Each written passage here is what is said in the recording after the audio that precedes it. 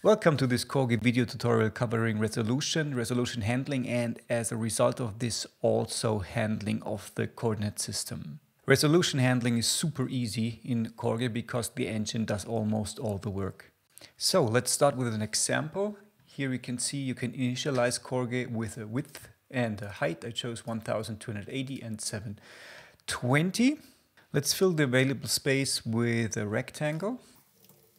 I will actually choose a rectangle which is much too large for the window to see how KorGE will handle clipping. So this looks like this now. And for demonstration purposes, we will now add a text field which will show the current coordinates of the mouse cursor. So let's place the text field first.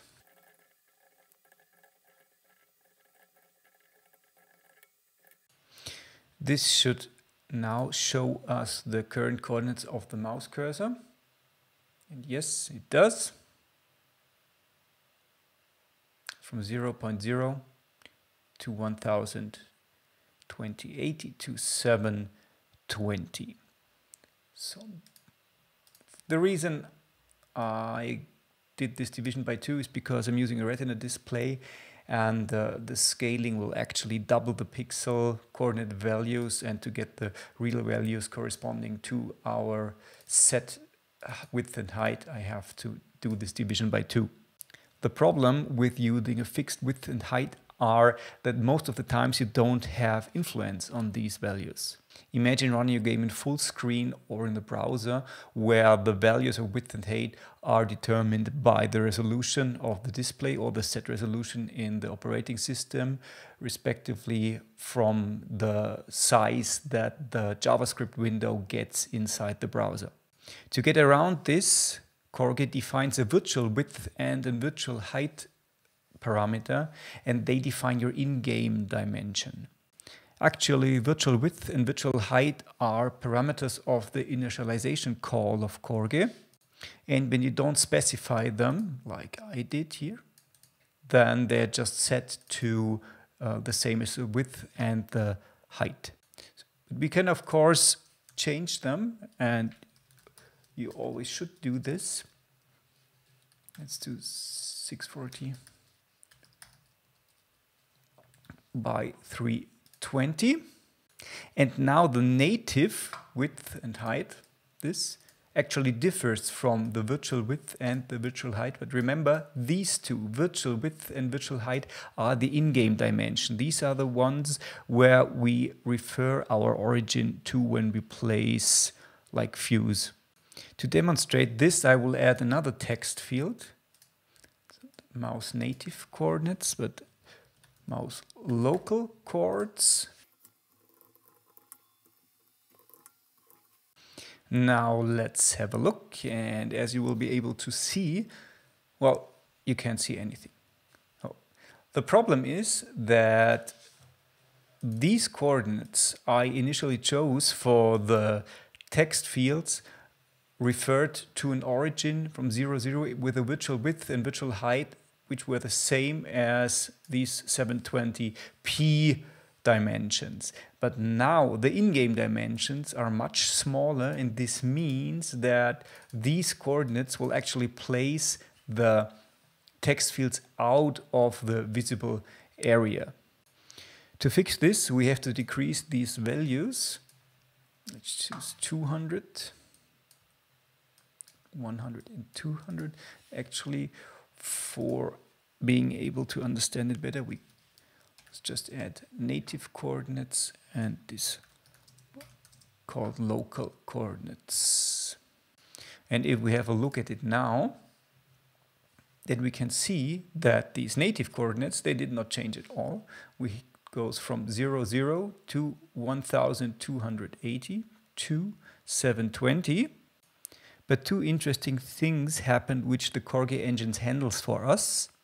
The first thing is that these in-game coordinates from the virtual width and virtual height are spanning from 0 to 640 and from 0 to 320 and the engine automatically handles these scaling from the local to the native coordinates and vice versa. So you can see the origin of the local coordinates is here, 0, 0. And the maximum width and height are down below here at 640 and 320.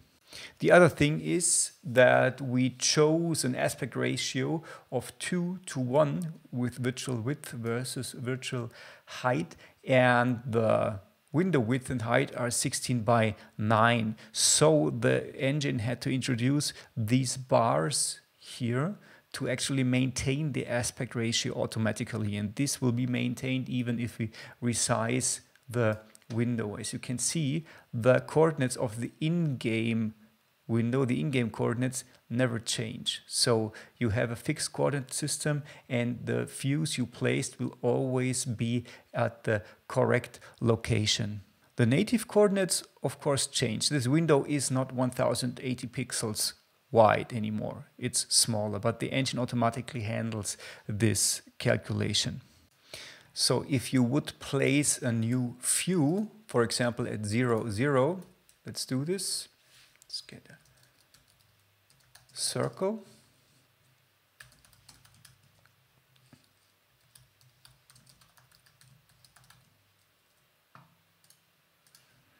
Actually, the circle would automatically be at 0, 0 if I won't specify it, but for the sake of this video, let's just say it's at 0, 0.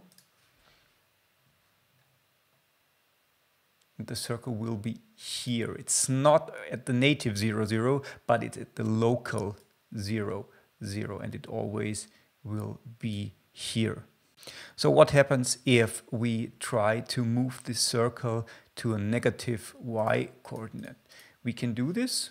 Let's just say it's at minus 50. So, and the circle somehow vanished, but actually it's still there, but it's placed under these borders it's cut off, it's clipped away. We can actually disable this clipping of the borders. I have to specify another parameter, clip borders false. Now we should be able to see this circle. There it is. It's still there, it's only clipped away. And actually, now we can see that our rectangle, the violet one that we introduced with the width of, and the height, which is much too big even for the uh, total size of the window, it was also clipped away at the bottom. So let's get rid of clip borders again.